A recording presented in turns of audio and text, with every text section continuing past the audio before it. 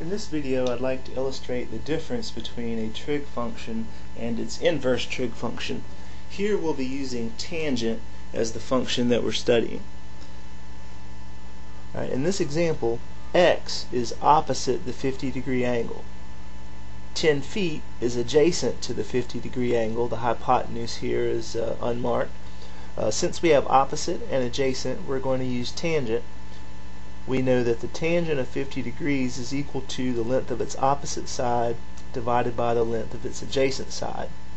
Now to solve for x, we'll treat this as a proportion where we're going to cross multiply and so we get x times 1 or just x is equal to 10 times the tangent of 50 degrees. Now we can put this into the calculator, 10 multiplied by the tangent of 50 degrees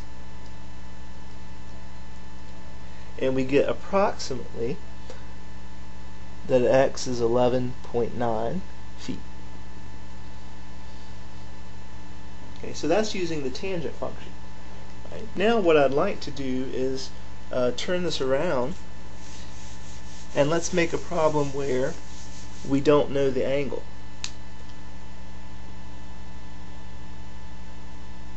So suppose we had a right triangle where we knew uh, that the opposite side was 15 feet and that the adjacent side was, uh, let's say, 23 feet. And our goal here is to locate the value of angle alpha. Well, since 15 is opposite the alpha and 23 is adjacent to the alpha, we know that this is tangent. But since we're trying to find the missing angle, what we want to do is use the inverse tangent um, opposite over adjacent. Now on your calculator you'll probably have to do something like hit the second button before you hit the tangent button uh, which will give you this inverse tangent uh, feature. You'll notice the little negative 1 as a superscript. Uh, so we'll do the inverse tangent of 15 divided by 23 and that should give you approximately 33.1 degrees.